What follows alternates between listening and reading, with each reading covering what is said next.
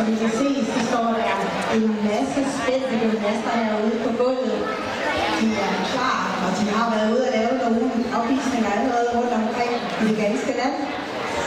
Normalt så er der 82 på holdet. Øh, jeg har hørt i mine øresnegl, at der er 72 i dag. Det er super flot. Og vi er mange her, der glæder os til at se jer. Og øh, grunden til, at vi ikke starter jer før tid, det er jo, at alle jeres, jeg ved ikke, hvem der kommer og ser jer, men de skal ikke komme, og så er I startet. vel? Så når klokken er 14.19, så siger jeg, værsgo, det er det nu. Det er god fest derude.